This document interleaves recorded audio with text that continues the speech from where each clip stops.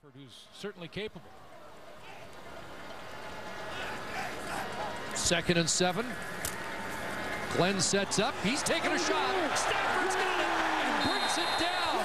And that'll back a defense off. That's how you got to get them off you.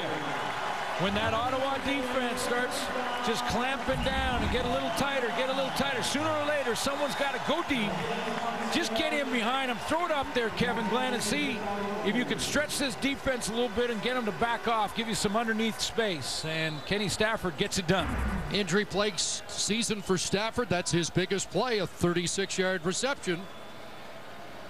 And the Als in business, first and goal at the Ottawa six.